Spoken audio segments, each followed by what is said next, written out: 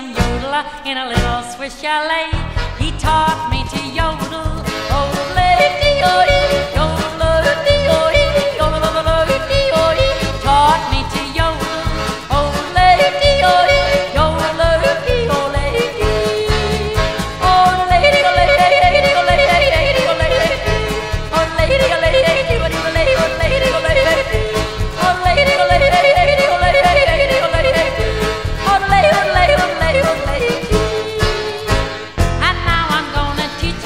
yodel just like me.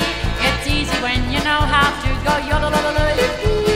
First you take a deep breath, then you'll exhale one, two, three. Then you'll hear a yodel if you listen close to me. Now this is how to yodel.